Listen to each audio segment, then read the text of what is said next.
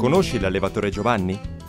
Come molti altri, sogna di allevare suinetti sani, ben nutriti e naturalmente con la massima resa economica. Tuttavia, Giovanni lotta contro una malattia molto comune nei suinetti, la diarrea post-svezzamento, PVD, motivo di molte frustrazioni e preoccupazioni. Il batterio Escherichia coli enterotossigeno F4, già conosciuto come K88, è una delle principali cause di PVD. Guardiamo dove questo batterio F4 si localizza. Sulle cellule del piccolo intestino. Qui aderisce attraverso sottili appendici a forma di peli, chiamate fimbrie. Nonostante l'impegno, il sistema immunitario del suinetto non riesce a sconfiggere il nemico, perché i batteri invasori si replicano molto velocemente. In realtà sono le enterotossine secrete da questi batteri le responsabili del danno reale. Esse inducono il rilascio di una grande quantità di liquidi, che causano diarrea, ritardo nella crescita e in alcuni casi anche la morte. Ma Giovanni sa come affrontare la PVD.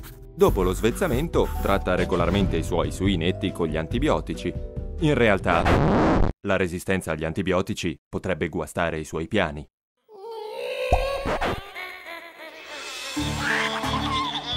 D'altronde, come molti allevatori sanno, i suinetti ammalati che soffrono di diarrea post-svezzamento crescono più lentamente rispetto ai loro compagni di nidiata e non recuperano mai. Necessitano infatti di almeno 10 giorni in più per raggiungere il peso di macellazione. Ciò comporta la necessità di più mangime, più farmaci e più lavoro. Senza dimenticare la mortalità, che riduce drammaticamente i profitti. Nel lungo periodo si possono perdere fino a 4,50 euro per suinetto, denaro che si potrebbe investire diversamente. Come potrebbe Giovanni gestire il problema in modo più efficace? Decide di chiedere consiglio al suo veterinario di fiducia, il dottor Pietro, il quale suggerisce facciamo un po' di esami diagnostici.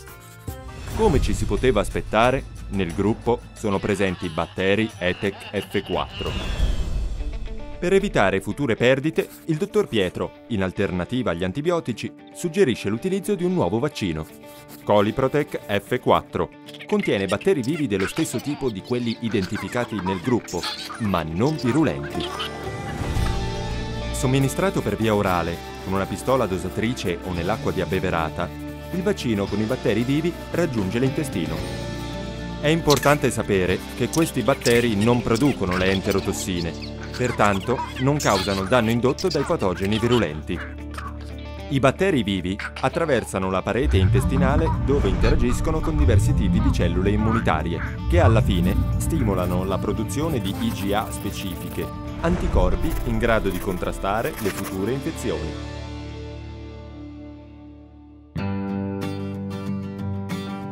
Nel caso si verifichi un'infezione da ETEC F4, questi anticorpi inizieranno ad eliminare i batteri invasori, riducendo significativamente la durata e la gravità della diarrea.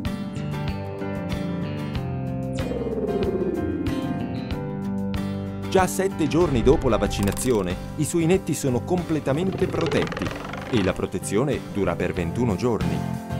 Sembra un approccio interessante, non è vero? Giovanni decide di provare il vaccino. Vediamo cosa succede. I suoi suinetti sono floridi, ne ha persi molti meno e i suoi profitti crescono. Le perdite economiche causate dalla diarrea post-svezzamento appartengono ormai al passato. Coliprotec F4 è un elemento chiave dell'approccio Full Value Pigs di Elanco, suini di pieno valore per un'ottimizzazione aziendale e contribuisce significativamente alla salute dei suinetti di Giovanni. Coliprotec F4. Superiamo insieme la diarrea post-svezzamento.